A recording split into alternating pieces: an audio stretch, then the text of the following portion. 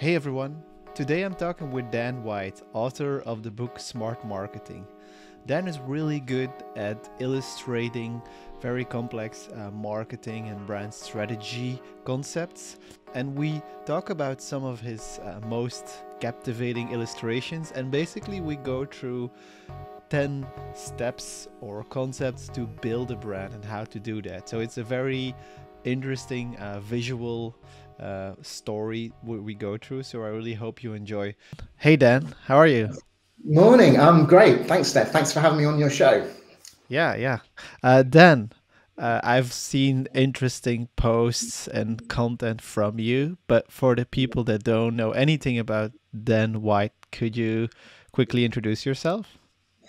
Uh, sure. Um, I'm a ex-market researcher and CMO and author of the Smart Marketing book, um, that's where a lot of the diagrams that you'll have seen on, on things like LinkedIn have come from. Um, bit of background, I my claim to fame is that I helped develop the brand value, brand equity system that's used to value brand each, each year to this day, and that's about 20 odd years old. And uh, I've got a new book coming out in the summer, which maybe if we have time, I can mention at the end. Um, and yeah, and I've, I've also got a website, smartmarketing.me, which is a it's a sort of a labor of love, which is where I house all my, all my illustrations and, and thoughts around all sorts of topics around marketing and, and a bit beyond uh, business as well. Awesome. Well, I mean, uh, I got to know you through um, the the the funnel, um, the Hankins hexagon, I think it oh, was. Oh, right, yeah. Um, yeah. And I saw your your drawings. I was very intrigued by them because you really try to present these these these concepts in a in a very simple and and graphic way, which I think is interesting because there's a lot of very complex language in our industry. So I think uh, it would be very interesting to walk through some visuals and get a sense of like what your take is on branding and brand building and what that all means. And hopefully we can get into some questions and some some other thoughts. Sounds good? Sounds, good. sounds really good yeah. So so we have this hand-picked selection ah, by by by the man himself. Uh, so the Apple brand, or maybe just more basic, the question of what is a brand? Then, like, could you could you give us your your view on that? Yeah, I mean, uh, the book I have a I have a made up example um, where actually invent a brand because we weren't sure how Apple would react to having some of their assets actually published in a book. But actually, the I would, um, these are all um, for illustrative purposes, and apparently we would have been fine. But anyway, um, yeah. So this is way of thinking, the way I think about what a brand actually is, in the sense, a, a common definition of a brand is, you know, all whatever comes to mind when people come across the brand whatever is fires, it, it, whichever neurons and, and uh, thoughts and feelings and images and sounds actually emerge um, mm-hmm. uh, and ideas when you think about the brand. And so I thought I'd draw what, what comes into my mind when I think about Apple. And you can see that actually, you know, having been in business for 30 years and obviously admired Steve Jobs, Steve Jobs is one of the first things that comes to my mind. And I know roughly what he looks like, which is very roughly, very roughly that. Um, uh, I think of the Genius Bar because I, I, had recently, you know, when I drew this diagram, I'd been to a Genius Bar recently, as it happens. Uh, the logo, the, the inf- inf- famous, the worldwide uh, famous logo, a lot of the products, but also you remember, I don't know if you remember, you look a lot younger than me, but I'm sure you remember the, the um, um, early iPod ads sure. the famous sure, exactly. That they really stuck in my mind because I thought they were so incredibly powerful and, and right for the brand, etc. So anyway, that, that's a little montage of some of the things that came to my mind, and I showed this to my daughter. And although some of the things were very shared, for example, the original iMac, bottom right, she studies she studied that because she studies studied design at university. So that's the kind of thing you're going to talk about. Um, and obviously the famous earphones. Those were her yeah. earphones her generation, etc. But some weren't.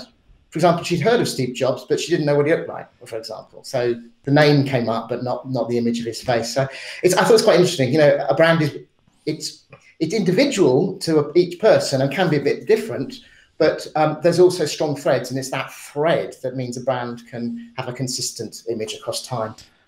Yeah, and and that's what's really intriguing to me. Like I've seen some some articles on that lately on whether a brand is like more of a social construct or more of an individual element because it's true. I, I think if you would map out like thousands of these associative maps from different people, you'd see a lot of variations. Would you say a brand is then like the the parts that are common or or how would you say that? It's both. No, I, I think the, the brand is both of those things. Mm-hmm. You know, um, I think the common ones are important um, because they, they, I mean, in fact, in effect, the common ones are your strongest distinctive brand assets, as as, yeah. as Byron Sharp would would put it. Um, because then you know that using those is, for example, if you use them in your advertising, will help to bring the brand to mind for everyone and, and build new associations. Oh, and like you talk about social construct, we, we all know, don't we, the, the, the famous ear, um, ear, earbuds were a, a way of uh, what's it called social proof. You'd mm-hmm. see people wearing them, and it's like, oh, everyone's wearing them, and they're, they're cool, and look at these cool people, and um, I must get some. So that bit was definitely this, this uh, the shared bit is also part of the shared, which makes the brand stronger because uh, we know that people like to use brands that other people think are good. The social yeah. proof is a powerful mechanism. But I would say that the, but even for me, part of the brand and the investment that Apple made 40 years ago, you know, um, uh, well, certainly since they they reinvented themselves with the sort of iPod and the iPhone, etc. Even some of those early memories that are in my head may not be shared with my daughters, but they're mm. still part of why I like Apple personally. You know.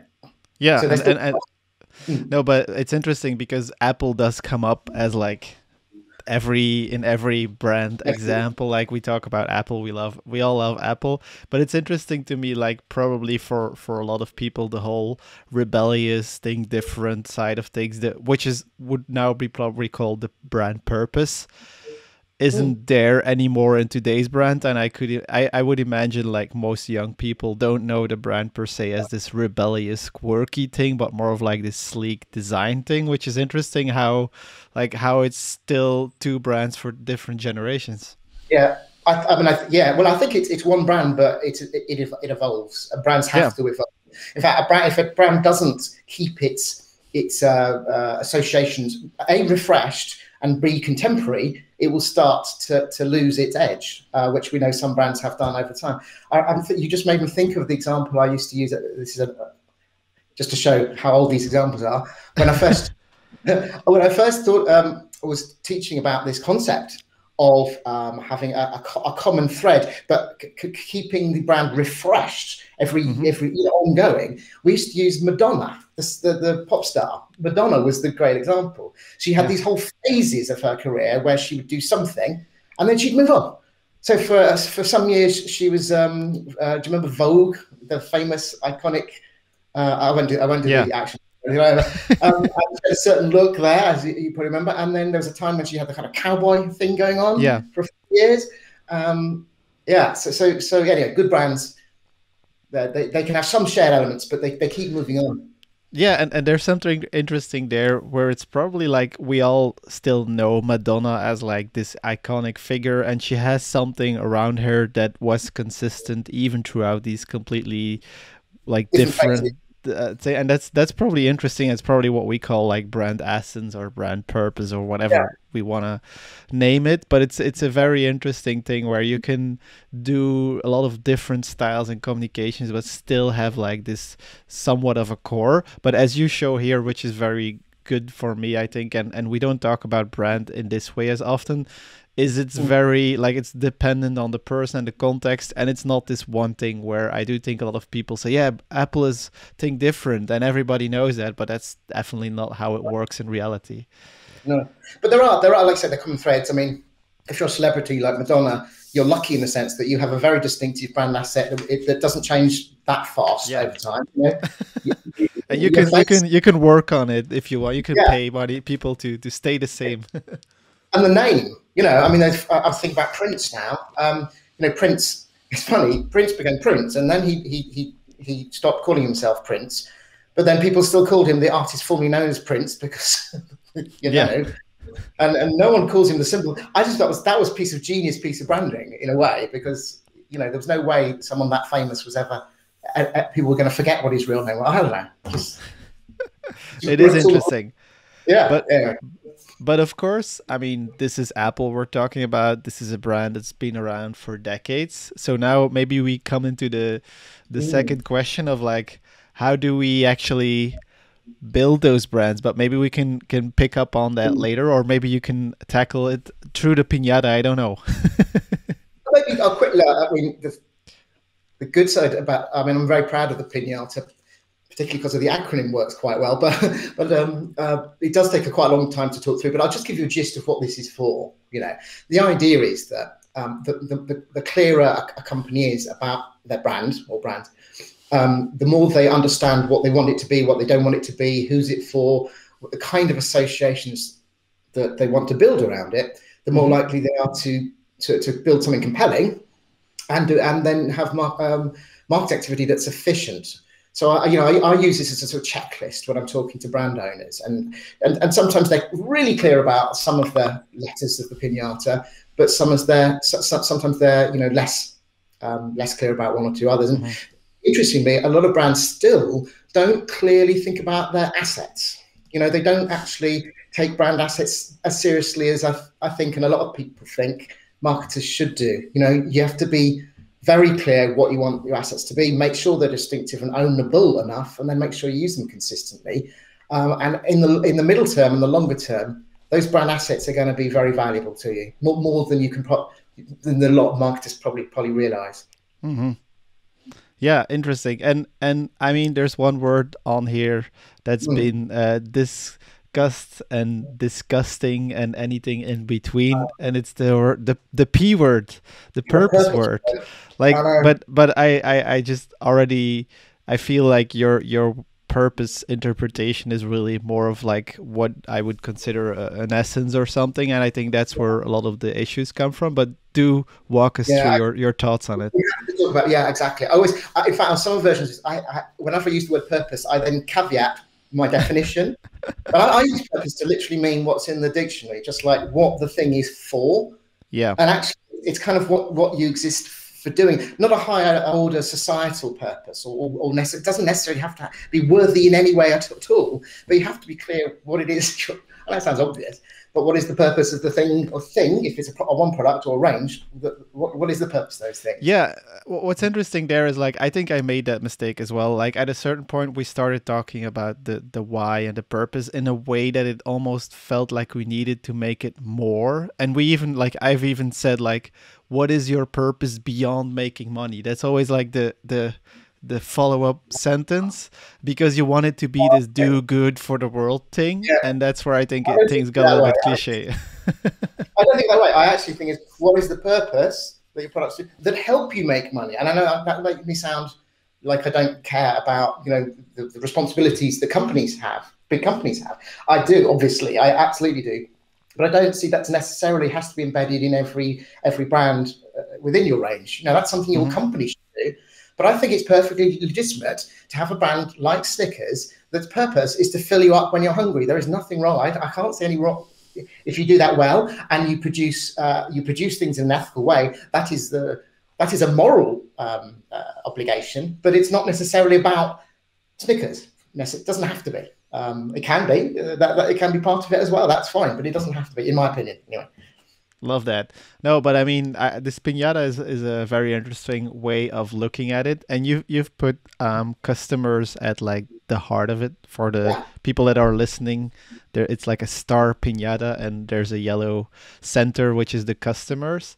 Like one thing I struggle with is is this interesting idea of um, like audience definition versus the idea of targeting everyone, basically Sharp's concept yeah. of of reaching all category buyers like how do you deal with that friction in there yeah i i, I think um it's always hard to say this because I'm a, such a big advocate of Byron Sharp and how brands grow. But I think that the idea that brands, all, all brands, should target and aim to build uh, their, their franchise across all customers is isn't correct. And that, mm-hmm. uh, and I, have conversations with Joel Rubinson, um, in the States who has been working on the concept called the movable middle uh, and validating that concept in packaged goods uh, uh, yeah, categories. And I'm increasingly uh, seeing more evidence that um, yes, it is an echo chamber. It does back up everything I've learned over 30 years. But no, there are there are certain consumers types for any given category who are going to be more responsive to what you your brand is and does, mm-hmm. um, and more responsive therefore to the, your advertising. And therefore, as a business, you will get a better ROI if you make some conscious decisions about targeting a specific sub-segment of all category users. And I'm absolutely certain of that because all marketers have a finite amount of money.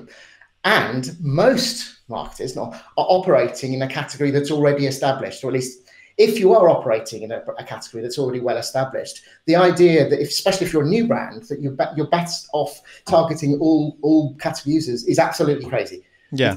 if you don't have something that's a little bit different, or you're better in some regard, then you will not. The chances of success are, are, are tiny unless you have a crazy budget, but that's, ne- that's never going to happen. So I think that's wrong. And I think also from a media point of view, these days, uh, increasingly, you have addressable audiences where you can you can identify a group, subgroup of people who are more responsive, because mm-hmm. markets people do have differences in what they prefer, and you know a category. I mean, how do you look at, at its worst case? You think about the car category, right? Yeah. If you're selling a Range Rover you are going to be wasting a lot of money if you go for all car buyers. Now I mm-hmm. know, okay, you say, well, that's not the category. Well, yeah, then you can go for luxury car buyers, but then you, you already you're already showing that you know it depends how you define your category. You could say luxury car buyers who like German things, and then yeah. then you're basically just doing segmentation, which is yes. which is interesting. Like where does it stop being like the category and being a segment? And and I think matter. I guess it doesn't matter. The point is there will be a group of people and you can find them in a certain way who are going to be more receptive to to what it is that you offer. And if you you can either call it a big category and, and call the other thing segments, or you can say, well, that's not my category, and I'm going to go for this bit doesn't make any difference. No, it's anyway, it's it's it's yeah. a very in- interesting point, and, and, and I've been thinking about it a lot lately. Like as you said, it's it's sometimes we use different words for different things, but these come from practical experience. And I guess this thing like segmentation is just something marketers in the real world have to do because of resources and because of, as you said, like there's some things happening in the market, and and the big data in Sharp's work is really like in aggregate, these things might show yeah. up in that way, but it doesn't really help us in, in a way we want to build brands, right? Yes, exactly. That Joel Rubinson is much cleverer than me. He puts he puts it in a good way. We're saying that Byron Sharp is talking. It's a descriptive model, mm-hmm. but it's being extrapolated into a predictive model. Yep. You see what I mean? It's like, no, yeah, is, is, it exactly. how, how, how, your brand could grow? It's not. It's no. how, how the, the, profile of, of big brands. It's not. How the did they thing. grow? yeah. What's the story behind their growth? And you know, I mean, think, I'm thinking about go back. I mean, you think about Dove. It's one of the biggest brands in the world, right now, today. Mm-hmm, mm-hmm. It didn't start like that. You know, it started. It, it started by um, having a bit of a niche. It was a medical brand. Yeah, it was used in the in the war, wasn't it, to, to bandage people. Um, I can't. I'm sorry. I, I, I'll need to look at my details a bit better than this.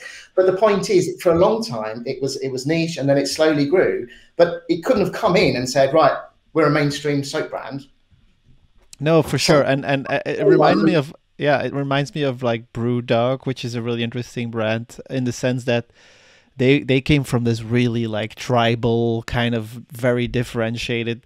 But now you see them like putting up big venues in Vegas and they're going into spirits and they have all these like and you you can see they're becoming bigger and probably starting to target like almost everyone and it is it is they're they're growing out of their their but they had to start that way otherwise it wouldn't be interesting. Exactly otherwise they wouldn't have got to that point where they could do it. So it's, it's kind of true that if you want to be huge you will have to at some point won't you? You will have to tr- attract more um, bigger audiences. No question. Yeah? Yeah um, exactly. um, so that's fine and there's not and therefore penetration is the ultimate route to growth. But at any one point in time the right strategy given your money and is, is to like you say grow from your core because that becomes feasible. Also, you have um, people in the trade who will accept or not accept um, things as well. So there are lots of practical reasons, not yeah. theoretical, why you cannot do it realistically. Come in and, and try and target everyone.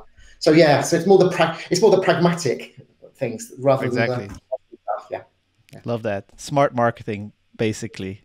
So once we know how our brand like what we what we stand for what we want to do how we want to change the world we have the insights what's the next step well of course media. Well, there's two next steps. There's innovation, and then there's media. Obviously, yeah. those are the big that brand building um, channels, aren't they? Things you can invest in and need to invest in to, to grow. But focusing on the media side of things, um, yeah, I mean, I've got a, I've got quite a few frameworks in the book um, to help you think through media selection and media deployment. And actually, that's the area that I've had a lot of traction in the uh, in the sort of uh, LinkedIn world since I launched the book. Um, but I quite like this this one because it's like quite simple and it makes you think fundamentally how, how do I know which channels to use? You know, should I be using, I mean, but in its broad sense, you know, should I be using uh, outdoor? Should I be using uh, Facebook in feed? Um, should I be using TV advertising even, although it's extremely out of fashion, etc., etc. You know, what what kind of things, and, and within those big broad channels, broadly, what what kind of formats and um, and, and programming and etc. So I think that one thing is right for the brand. In other words, does it fit what what you're trying to do with your brand? So that comes from the brand pinata. You know, what mm. association particularly trying to build.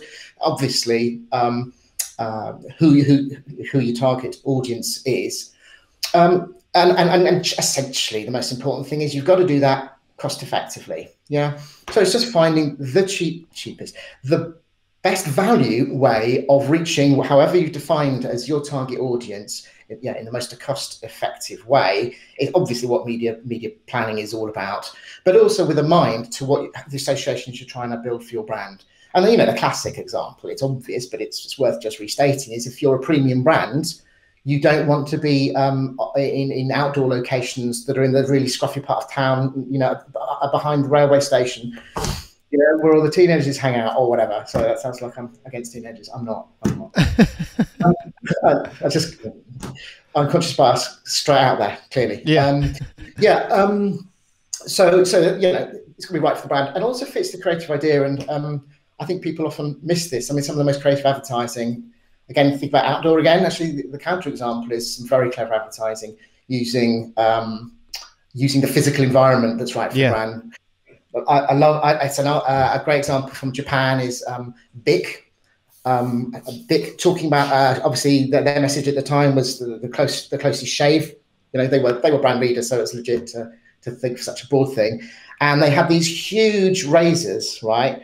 Uh, are, are uh, um, in fields. So they'd obviously talk to some farmers, say, "Can we use your field?" Like like often see for outdoor, and they'd mowed a, a, a strip. So you had long grass, a really short grass, and then the huge Bic propped up against a, a sort of screen at the end. That's so cool. It's just so cool, and it's just fun, and it, and it, you know, implicitly, it's just right. The creative idea was perfect um, for for the, the, message and the brand. Yeah. Yeah. yeah yeah. love that like what's interesting to me here is it's it's Sorry. a more no no don't worry it's a more agnostic approach to picking the media while what we hear today very often is just go for social organic media because that's the cheapest or the the free version, which is of course not really the case. But th- this is really like trying to look at it from a different way. But still, probably like if you would look at it from a, a perspective of your you being a small business and the most cost effective is probably the one that has the heaviest like. Yep. I mean, in terms of decision making, people cho- choose that above all, I guess, which is, I yeah, think, maybe a little bit yeah. of a frustration it's become the it's become the default. You know, it's become the, the one that you the, the one that you buy, and then you decide whether or not you need to buy any other media. But I think yeah. there's, a, there's, a, lot of there are lots of good reasons for thinking beyond that. I mean, um, I mean one. I think one important thought is you've got to think about what you're buying.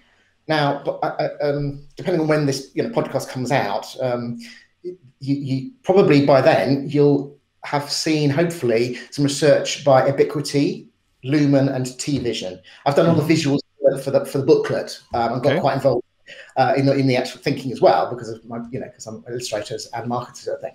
Um, but um, that talks so much about the value of attention, particularly just the, the, value of the amount of time people spend with with with the advertising. Yeah. And we know that for in-stream social media advertising, it's on average like a, a second and a half, uh, uh, roughly, that you get because people basically mostly scroll quickly past you. We know that. We'll do it. So you're get you're getting a, a you know second and a half. Um, whereas a YouTube pre-roll, oh, I have to get my figures right. A 15 second YouTube pre-roll, you're yeah. getting something like nine seconds of uh, on average. So you're mm-hmm. getting like six times more seconds. And, and Lumen have done some good research. Lumen do um, eye tracking. Yeah, yeah, I know them from some some other researchers on TV, and, and yeah, and yeah. So they do uh, the digital um, uh, eye tracking as well, and it's um, you know, they've got some very strong evidence that essentially the number of uh, the proportion of people and the, the, number of seconds they spend on average directly relates to to, uh, to important things like sales, um, acquisition of, of clients, um, branding effects, etc. So you you do kind of get what you pay for. It may be six, but sometimes it might be four times more expensive, yeah, but six times more effective. Exactly. So you've got to think. You know, it's not necessarily always the best way to go. It might be, um, and this, I think, probably takes us on. Are you doing a nice segue to, to the next diagram? I think you are. Is the next one the football analogy, right? Yeah. Yeah. Nice one. Yeah. Okay. Yeah. But so the other big argument is actually using a combination of media is often more powerful, not mm-hmm. and give you a better ROI if you use a particular combination. And Les uh, uh, Les Binet and Peter Field have done a lot of work on this, um, showing that a combination of what they called brand no, do they call it brand development or brand building? Anyway, it's the same concept. I think brand building, yeah. We use the friend brand building, yeah. People use them synonymously, really. Yeah. Brand brand building advertising in conjunction with what they call brand act, uh, activation or sales activation, or brand mm-hmm. activation. You also use synonymously. Um, advertising is highly effective, and th- their average ratio, the, the most effective ratio, they talk about 60 40 60 to brand building. Um, it is only an average, but it just shows you you need a, you know, a whole lot of both, and that can be highly effective because brand development is more about more, more, more where you can tell a story, where you've got nine seconds or even like 14 seconds, if, if you're in the case of a 30 second TV ad, to develop strong, long lasting, powerful memories, positive memories that can last for years actually. Mm-hmm. Um, and don't have to be close to the moment when you make a decision. They can be months or years before, if it's powerful enough, combined with some some maybe cheaper per view sometimes, although not always with the price of digital these days. But um, but, but, but the, the, ones that you can serve more addressably and closer to the moment or the place of purchase. Yeah, yeah. I love that. And and what's interesting about that, like I see it for a lot of smaller brands they have a like they put all their money on on the the attackers that are close to the goal trying to yeah. like keep like score but they're they're not focusing on like getting the ball towards the end yeah. zone which is i think a, a big problem but uh, of course as you said like it's also a budget thing but the the fact that you said like even investing in those more awareness phases can actually be more cost effective than just standing there and hoping the ball will will come closer Exactly, exactly. Um, precisely the analogy. You know, if you have, um, I'm so old. If you have Michael Owen standing near the net, if, you could, if you could update this, the analogy for me, I would really appreciate it. Give me some names of some. Anyway, right by the net. If you haven't got your David Beckham in the midfield to, to serve you the balls, or, your, or Steven Gerrard, you're not going to do very well. Exactly. You need Romelu Lukaku, which is like the Belgium, uh, and then you need Eden Hazard somewhere in the middle, brand building. I will use those names in future. Thank you. Thank you very much. The Belgium soccer players are always the best to use, right? Okay, no. fine. no, but I, I, mean, this is a very important uh, dynamic, and I, I think like what most people in branding see as like ugly marketing or sales is very often that that last part like what we call activation which i i don't like i like the fact that it's in tandem. It's not that you can just say well we don't need to do activation. We can just do build emotional branding. It's not like that. Both elements are very important. Yeah exactly. It's it's not it's it's not one or the other. De- definitely not. It's always both yeah, and, and I, what I think also very is interesting, I, I mean powerful in this metaphor is that the the activation part is close like closer to the goal. Like really when a buyer is in the vicinity of buying, then you need to activate him. But when he's yeah. further away, when he's not even thinking about buying, which means he's not in the market yet for your product, then you should be brand building. And I think that's like a very good way of thinking about it yeah, yeah, that's exactly the the, the intent. Um, yeah, cool. Love that. Okay, um, but how do we come up with with good ideas? Ideas. Okay, so this is more about the ideas that then would manifest themselves in in channels. Um, mm-hmm. Yeah, I like this one because I think um, this is to address the that sometimes marketing people can can think that the, their brand world is the world. You know, yeah. I mean, it's so you can see it, it's it's inevitable. You're close to it. You, you work on it every day, um, and sometimes you kind of think, well, okay, well, this is our brand. What can we do that that excites us about the brand, or is all about purely about the brand? Um, whereas I think the magic, and I, I, genuinely would think this is worth every bit of brainstorming uh, you could do um, with the right set of people to come up with, and, and right people may well include um, end customers as part of the uh, research or, the, or how you do the mm-hmm. brainstorm, you know, or f- at least feed directly into it. Because what you're really trying to do is understand um, the consumer's concerns around the category. You know, yeah. you know, the the, the, the context in, in which their of their life in which they use the brand. The more you know about that context and about their concerns and their habits and their lives and their, their concerns and their how it impinges on them, the more you understand that, then you, as a brand team, you know your brand's purpose, as we define it, and the, the pinata essentially, not just the, the, rest of the pinata. Mm-hmm. Um, then it's some someone somewhere um, needs to come up with a genius way uh, finding something that is in the intersection of the two. You know, for example, the, the, the Snickers example is someone came up with the, this concept of, you know, people um, people get hungry, yeah, um, they, they need food, they, they, they, they, they get hungry between meals. Sometimes it's a, it's a convenience thing and it stops them um, getting tired or whatever, etc., etc. And then the brand, um, the Snickers brand, is a high energy impact. It's got the chocolate. It's even got peanuts, very nutritious. Yeah. And it's all about in the and people already associate with being filling because of that and the historic uh, advertising associations. So someone somewhere, and, and then someone maybe. I, I, by the way, I do not know the origin of this, but. Uh, but imagine in a in a, a group talking to consumers that someone talked about, oh, I hate it when my daughter uh, gets hungry because she just is gets in such a mood uh, she acts, you know, she gets, she's not herself. Bang, someone somewhere will have picked up I don't know, and gone, ah, oh, you're not yourself, are you, when you're hungry? And then that, everything flowed from that. And then, then, then actually, when you actually think of a specific uh, idea to bring that idea to life, someone says, yeah, people might act like a diva, a real diva. That might be the kind of language that's used. I know.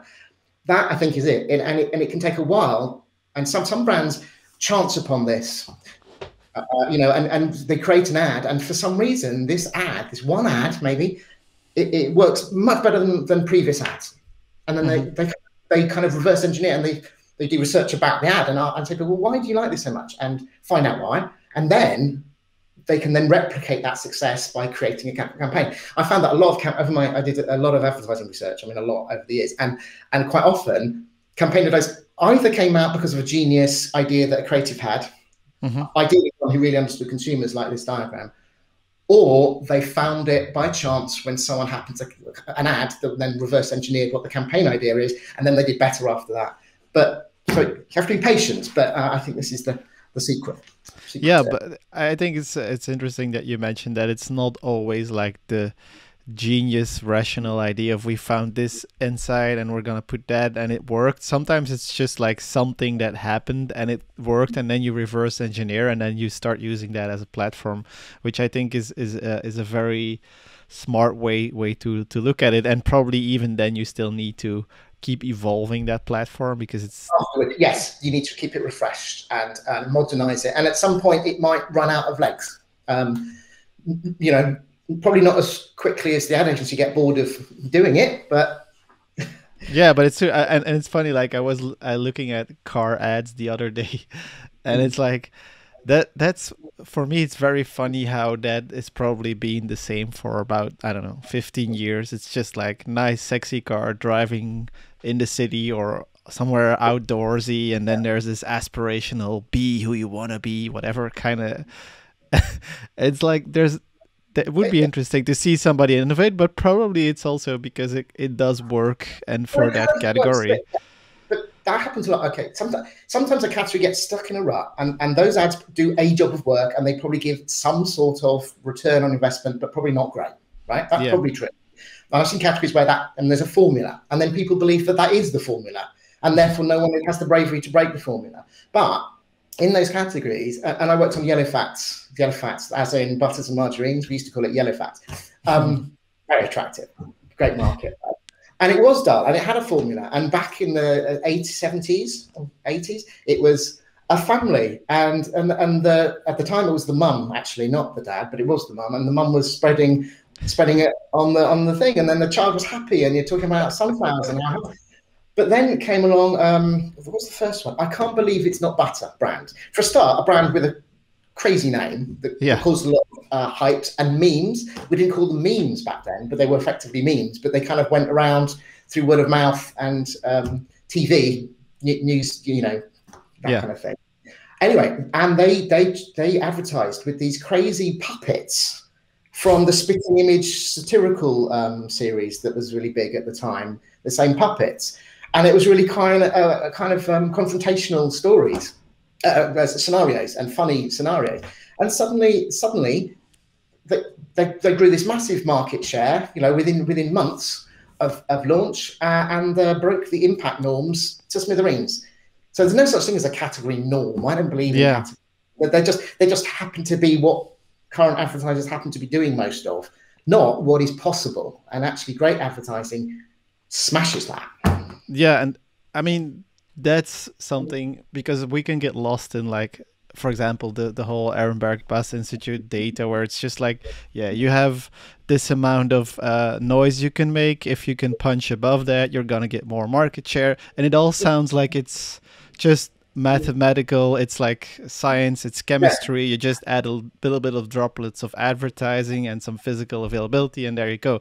But you can break out of like these patterns and you can make more noise by having really creative ideas and, and executions.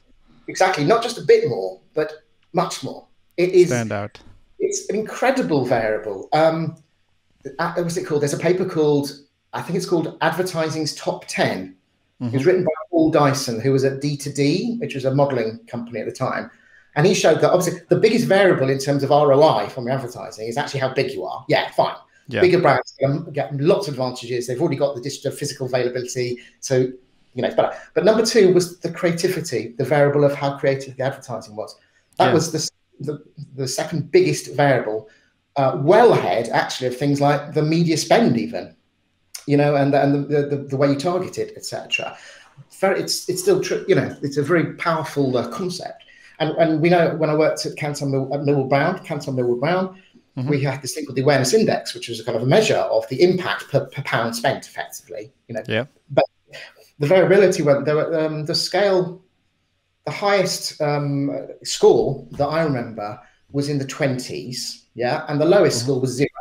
I, did measure some advertising that had zero impact. There was literally no response on any of the advertising response measures or brand measure or anything. Zero, nothing, despite half a million pounds.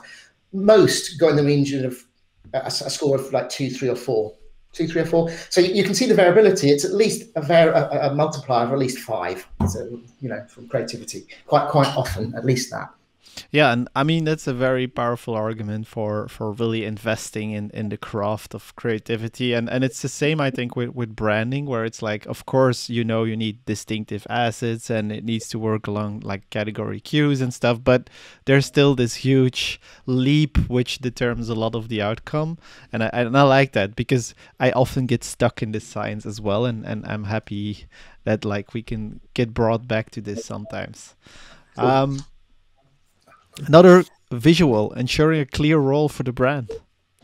Yeah, the, the, the reason for picking this one out is because, following on from the idea of creative effectiveness, um, it, it's pretty clear that you know that big variability we talked about. Well, obviously, part of it is how engaging mm-hmm. uh, the whole idea is, and we talked about how to come up with an engagement idea. But uh, and even, probably the biggest variable of all is whether or not um, people register what brand it was for, so that so that those ad memories that we talked about with Apple at the beginning, whether they have any chance at all to, to form those links. Yeah. Because if if the brand isn't um, present in mind, brought to mind, um, and involved in the rest of the ad, if you mean, which are usually the more quite often can be the more interesting, you know, parts, more engaging parts, then the ROI is going to be very very weak. So here's just a it, it was some illustration of four ways in which you might be able to make sure your brand is is prominent, you know, in in your in your creative itself. And I mean, one is a, a sort of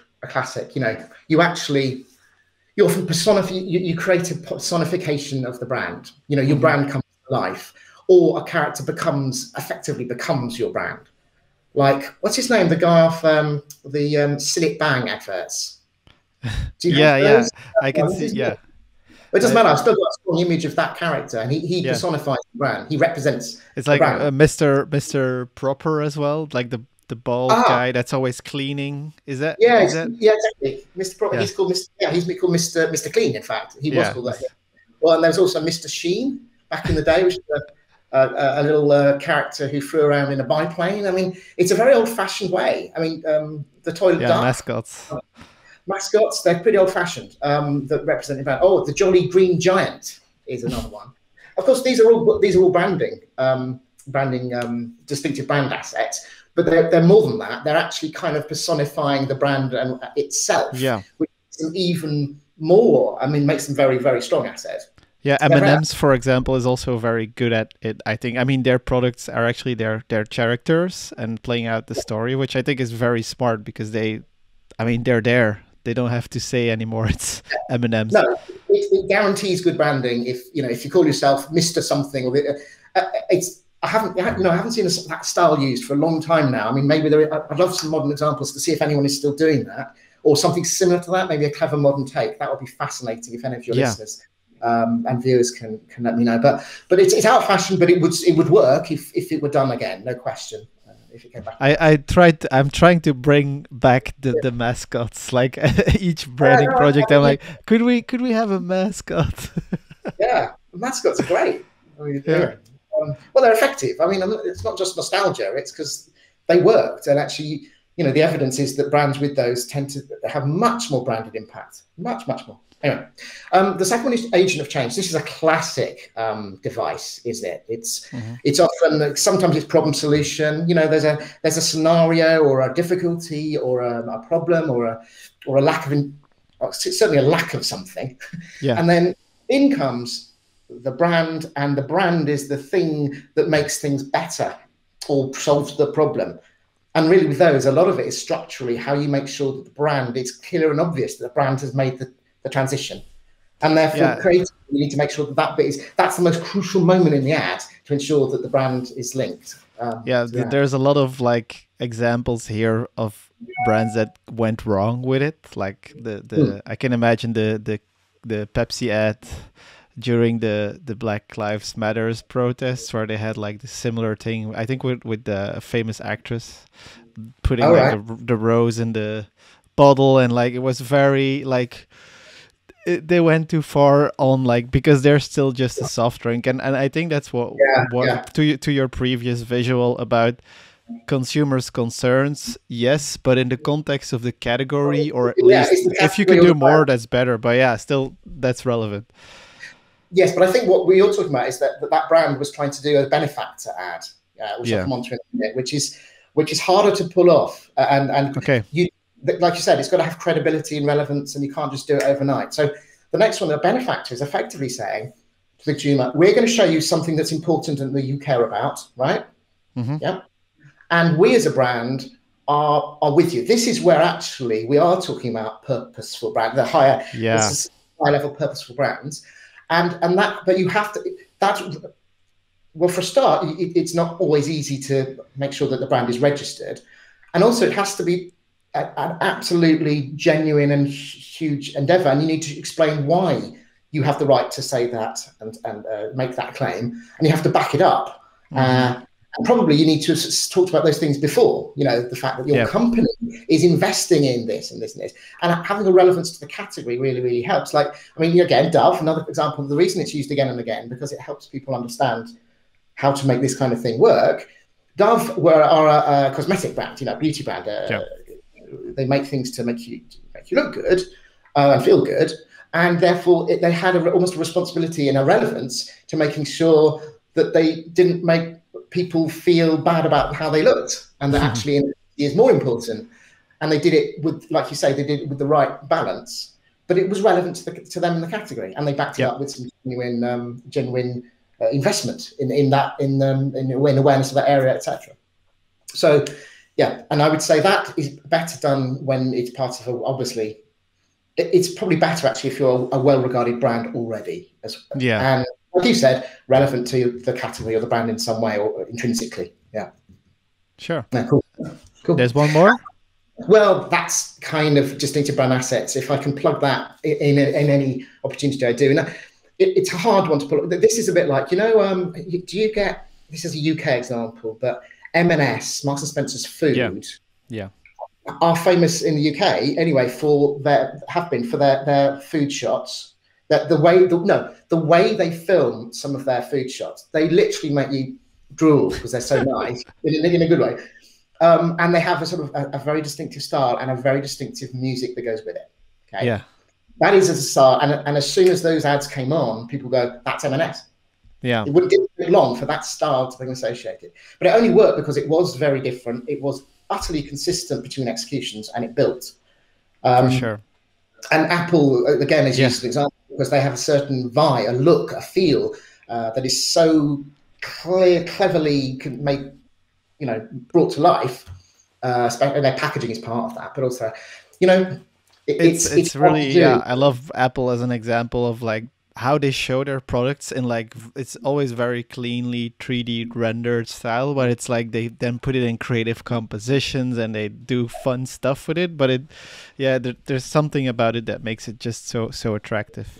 but you have to do two things. It has to be distinctive, obviously, Yeah.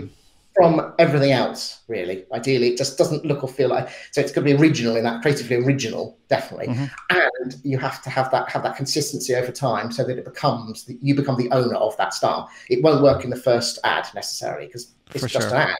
Know, it, people might like the ad hopefully because it's distinctive and original, and the style is new and fresh. But it won't be owned by the brand until you've used it again and again. Interesting. I think that was actually our, our last um, visual here. Uh, yeah. Unless Yeah, you cool. wanna wanna grab another one. No, I think it- I think we're good on on the visuals. Very interesting uh, stuff for sure. Um, then, anything else you want to mention? Uh, maybe just like general some some ideas for let's say people that are, that want to build brands. Maybe some some advice where to go to, where to look, what what they should, should learn more about. That's the obvious plug. I'm going to talk about my book, aren't I? You need to buy my. Book. Sure, Here we go. throw it So in there. Here we go. Here's my here's my book, the Smart Marketing book. Um, please please buy it. It's it's uh, it's short. It's very visual. I think it's got almost all of yeah, it's got all of those visuals in what or a version of those visuals. Um, but obviously, it's got the narrative that explains the, the thinking around all of them, and it's got um, 75 of those in all. Uh, also, visit my website, which has a lot of visuals and a lot of other topics. Um, for example, I mean, I could, if you go to smartmarketing.me, hmm yeah, one of the tabs is called illustration. And oh yeah, you can do it. You can do it live, can you? Um, why not? Yeah, see that tab at the top called illustration. Yeah. There, here we go. That, we've got a whole selection of Yeah. some interesting and useful things. My, the newest one is the one that says mental processes near the bottom. Um, and there'll be many more of those coming out once the uh, the Ebiquity and lumen. In fact, one of them's already out. The first one. If you click on the first one, it should enlarge. Yeah, click on it again. Here you go. So, for example, this is this is going to be appearing in that booklet I mentioned. Just just a few. It's more of a cartoon than a than a framework, obviously, but just the idea that you know the brand, the, the brain is always scanning around the whole world, looking for, look look at all the data that's coming into its eyes and its ears until it finds something that might be important or scary or relevant or an opportunity. And it's only those ones that even have a chance of uh, coming to, to, to memory. And that's why advertising is so um, such a challenge to actually get people to notice, but also why, if you get it right, you can have uh, an ROI that's five or 10 times bigger than you would have got because you've managed to, to grab that attention. Whereas most of the thing and most of the ads um, that we come across, like vast majority, um, we, we skip through and hardly notice. But some, if they're original and interesting, etc., and grab us, are, are incredible. And that's why variability of creativity is so important, and not Yeah. just a not just A/B testing things that are pretty similar to each other anyway. Okay, well, you'll find the best of the bad bunch, but that's not going to give you a great ROI. Um, it's yeah, it's like testing between light gray and, and light beige and, and seeing if that's like a different ROI, but it's probably not going to make the difference, right? Yeah. Whereas you might have wanted a, a neon blue or something, you know? Yeah. no, but it, that's really like, and and it it begs the question, of course, like, but how do we grab attention? And I guess the answer is very hard because, like, the way our brain works is sometimes it might pick up on something and sometimes it doesn't. Yeah, but there are some experts out there who who, who do know what to do, how to do it. Uh, really, really creative people who who know about attention. That's kind of why I did the section. Originally, this whole section was called attention, um, uh-huh. to try at least highlight some of the some of the things. Um, but there are there are there are ways you can do it. Um, it's like I, a big I, red screen alert, alert, alert.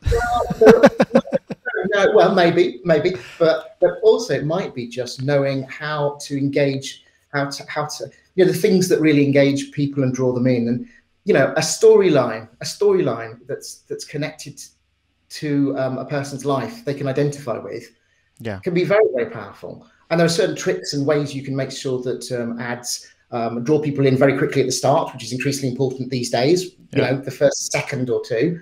Uh, we know the first five seconds is important on YouTube, on certain that.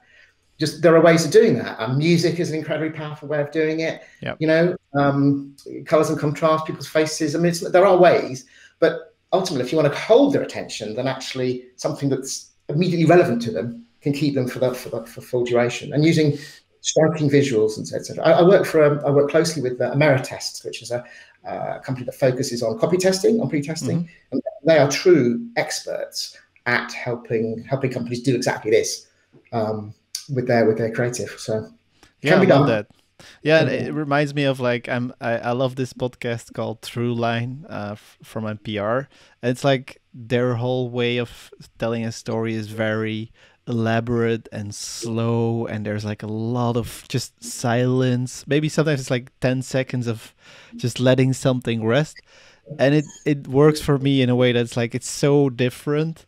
And that's also interesting like going the opposite direction. When you're grabbing attention it doesn't always have to be loud but it's no. just no think about think about um, action movies have you ever been to an action movie where it's too much and it is mm-hmm. just explosion after car chase after explosion after car chase after this after that, and you're jumping off a cliff, the, and you just they're not actually great movies because yeah. they haven't got that rhythm. They haven't got yeah. a ebb and flow. We used to call it like a you want pacing is really important. Even just a 30 second video ad, pacing.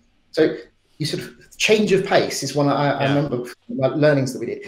You know, use of music with that, ups and downs, highs and lows are, are important. Like at Ameritest, there's uh, we use something called the flow of attention, and the very best ads aren't the ones that are just you know, are flat, even if it's reasonably attentive, attention grabbing. The best ones are like you just go like that, up, up peak, and then there's sort of a bit of a downtime. And those peaks are quite useful because they make it easy for the the, the, the whole ad to go to memory. They're like yeah. little markers, markers that are particularly memorable. But you need the, the, the the brain needs a few seconds after these things you know, to take them in and, and a little downtime and up and down. It's fascinating subject. This I love this. I, this is yeah. Uh, I'm, that's I'm learning, still learning a lot about this this area. Yeah, looking forward to those uh, reports, and and I, I, guess this will be out in, in a few weeks, so maybe we can share the, the report in the show notes. Okay. Uh, yeah, it'll be out early June, and it's called the the cost of attention is the report. Um, uh, yeah, I've put a lot of uh, effort into the visuals for this one. Love that. Well, uh, Dan, this was this was really great. So so thank you for your time. Thank you very much. Cheers. Cheers. Bye bye.